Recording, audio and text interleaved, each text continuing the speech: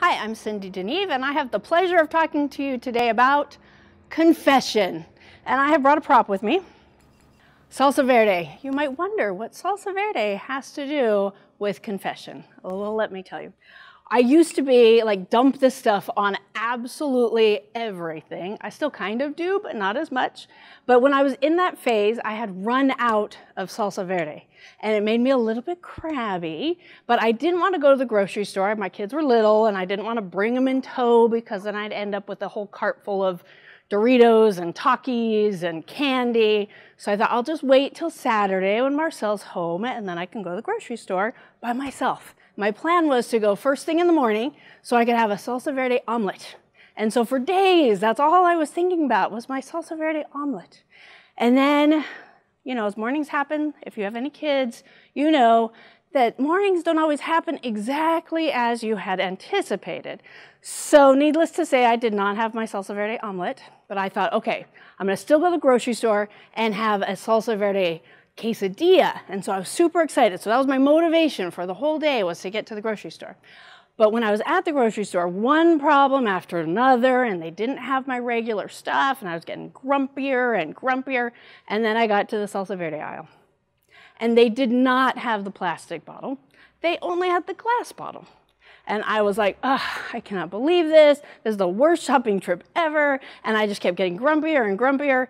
And then I finally got home super crabby, like the prices were too expensive. And I just had my list of whininess. And I just was in a super grumpy mood by then. And then I got home and I started bringing in the groceries. And then I hear a crash. And what falls to the floor but my glass jarred salsa verde. And if I was a cartoon, steam would have been coming out of my ears. I was so angry. Luckily, when I was putting the groceries away, nobody was in my house because I'm sure I would have been yelling and freaking out. And I could thankfully hear God's still quiet voice say, You didn't do your quiet time today. Come sit with me. And of course, I was grumpy and I did not want to listen to that voice. But eventually I put away the cold stuff and I sat down in my quiet time chair and I did my quiet time. And the very first thing God said is, You need to confess. Because I was not being thankful in all things. I mean, that's a command be thankful in all circumstances. And I was not. I was being crabby in all circumstances. And so I had to actually say, Okay, God, please forgive me for having such a crabby heart and then I had to intentionally go, okay, I'm thankful that I have a car to get the groceries, that I had money to buy the groceries, that I have a refrigerator to put the groceries in, that I have kids and a family to feed the groceries to. So I had to totally transform my thinking. But it reminds me a lot when I think of that story is the importance of confession. Because if I hadn't stopped, I would have been crabby the entire day, and my poor family would have not been very happy with me. But confession is super important because the cool thing is, God always forgives us 100% of the time. So we never have to be afraid of confessing to God.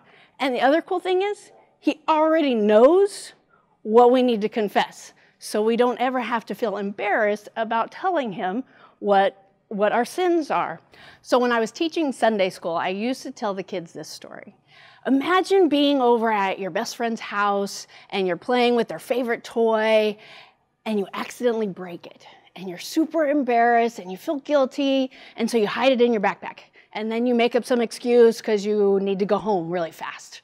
And then your friend calls you the next day and says, Hey, I can't find my, my toy that you were playing with. Do you know what happened to it? And you're like, Oh, I don't know what happened to it. I'm sorry. And then after that, every time they call for a play date or just to chat, you just ignore them because you don't want to have anything to do with them. Why? Because you feel guilty and it reminds you how guilty you are. And it's the same thing we do that with God. And that when we were like, oh, I feel a little guilty about this, so we avoid God instead of going to Him and saying, I'm so sorry, God, will you please forgive me? Because the cool thing is with God, He always forgives us. With our friend, they may or may not forgive you, but with God, 100% of the time, He's going to forgive you. And I just want to end um, with this psalm Psalm 32. Oh, what joy for those whose disobedience is forgiven, whose sin is put out of sight. When I refused to confess my sin, my body wasted away and I groaned all day long. Finally, I confessed all my sins to you and stopped trying to hide my guilt. I said to myself, I will confess my rebellion to the Lord, and you forgave me. All my guilt is gone.